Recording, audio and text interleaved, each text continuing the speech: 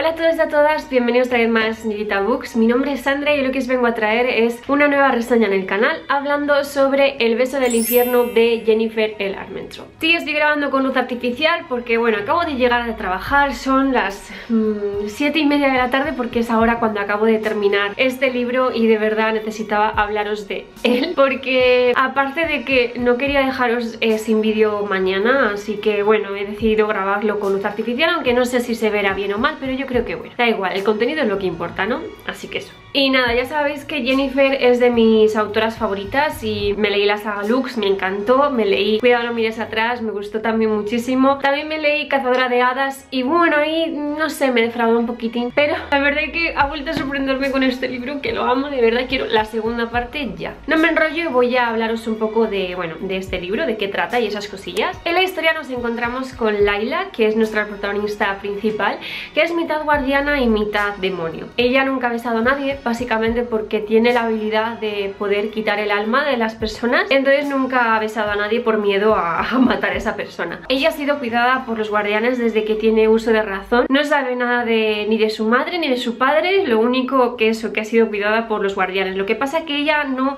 no siente como que tiene un lugar en entre los guardianes. Parece que todo el mundo la tiene miedo o la rechaza por ser lo que es. De un día para otro empieza a haber bastante actividad demoníaca en lo que es la zona y ella es la encargada de marcar a los demonios y que así los guardianes puedan en este caso cazarlos y se da cuenta de que los demonios van a por ella. Todo se incrementa que va a aparecer un personaje eh, masculino, mm, mi favorito, ¿vale? De la historia, que se llama Rod, que es un demonio y no os cuento mucho más porque la verdad que tenéis que leerlo por vosotros mismos. Ya sabréis por dónde van los tiros, pero eh, no, o sea, toda la trama, o sea, es que tiene muchos giros y es que de verdad necesito la segunda parte ya porque es que me ha dejado con el corazón roto y quiero seguir leyendo, quiero saber cómo continúa la historia. Primera parte, me han gustado los personajes, creo que están bien construidos, cada uno tiene su personalidad y sobre todo los personajes secundarios como son Stacy, la amiga de la amiga de Laila y bueno Sam, que es también uno de sus amigos, están muy bien hechos, muy bien construidos. También está Zane, que es uno de los mejores amigos guardianes que tiene, que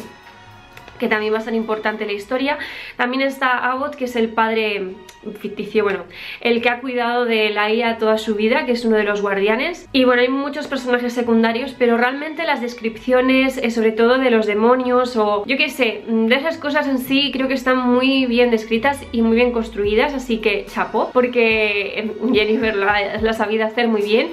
Sobre todo la imaginación que ha tenido, o sea, no sé, me ha encantado y la trama principal, lo que es el hilo que envuelve toda la historia, me ha tenido atrapada constantemente em, de lleno y no ha hecho que parara de leer en, absoluto. Obviamente no tengo todo el tiempo que quisiera para leer, pero bueno, de acuerdo, pero me ha tenido atrapada, atrapada. Y, y de esto que em, he acabado el libro y he dicho, ya se ha acabado, por favor, no, quería que se acabase. La verdad que me ha gustado porque Jennifer hace especiales sus historias Y esta me ha gustado sobre todo, no sé por qué Le he cogido demasiado cariño a los personajes y, y me ha costado desprenderme de este libro Pero en sí necesito la segunda parte ya Espero que lo hagan pronto. Y quería hablaros de este libro porque sí, porque tenéis que leerlo A mí me ha encantado, me ha gustado mucho Y no tengo cosas malas que decir de este libro. Creo que igual la única cosa mala que tengo que decir es que el principio se hace un poco como, como lento. No sé, me costó introducirme en la historia,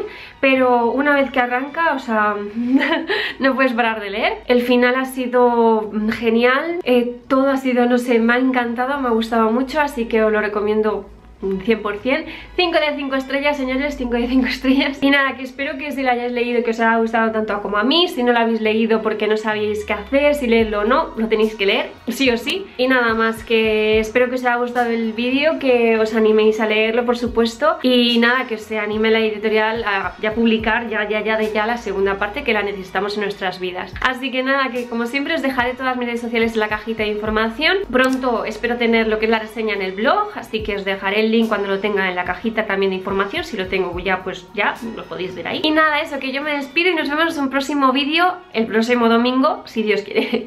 Un besito adiós. No le veis pero está aquí. Sí no por favor. Hachi para. Mira ven saluda. Ven aquí ven. Hola. En fin vamos a ver.